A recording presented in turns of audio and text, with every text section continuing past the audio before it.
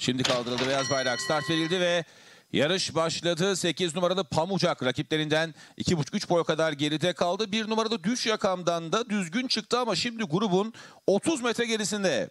Yarışın liderliği 5 numarada ilk ateşte. 1,5 boy fark yaptı bu safkan 1 metre start yerine yaklaşılırken. 1,5 boy 2 boy kadar gerisinde. 2 numarada Fıratlı var. Şimdi Fıratlı farkı 1 boya kadar düşürerek ikinciliğe girmiş durumda. Ondan 1 boy geride 10 numarada Senem Hatun dışta üçüncülükte içeride. 9 numarada Prenses Zeynep. 2 boy geride 7 numarada Neris iç kulvarda da Muhbir kendini üçüncülüğe kadar attı. Son 800 metreye yaklaşılırken 5 numaralı ilk ateş 1,5 boy farkla lider. İkincilikte 2 numaralı Fıratlı var. Üçüncülükte ise 6 numaralı Muhbir. Muhbir'in bir boy gerisinde 10 numarada Senem Hatun. Daha sonra içeride 9 numarada Prenses Zeynep dışında da 7 numaralı Neris var. 2 boy geride 3 numaralı Gölge Kız son 2 sırada da 4 numaralı Hüz Ege ve 8 numaralı Pamucak sırasıyla Taylar Düzlüğe çıktı.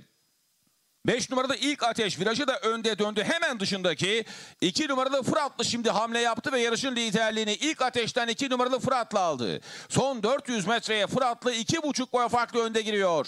İkincilikte içeride 5 numarada ilk ateş var. Dışarıdan 10 numaralı Senem Hatun'un en dış kulvardan da 4 numarada Hüz Ege ve 7 numarada Neris'in hata var. Son 200 metreye 5 boy farklı 2 numaralı Fıratlı önde girdi. Dışarıda 7 numaralı Neris ve yanında Hüz Ege ikincilik mücadelesindeler artık. Son 100 metrede de 4 boy farkla lider 2 numaralı Fıratlı. Hüz Ege ve Neris'in atakları olsa da 2 numaralı Fıratlı kazanıyor. 7 numaralı Neris ikinci. 4 numaralı Hüz Ege üçüncü. 8 numaralı Pamucak dördüncü. 3 numaralı Gölge Kız da beşinci oldu. 2 numaralı Fıratlı Mehmet Kaya ile kazandı.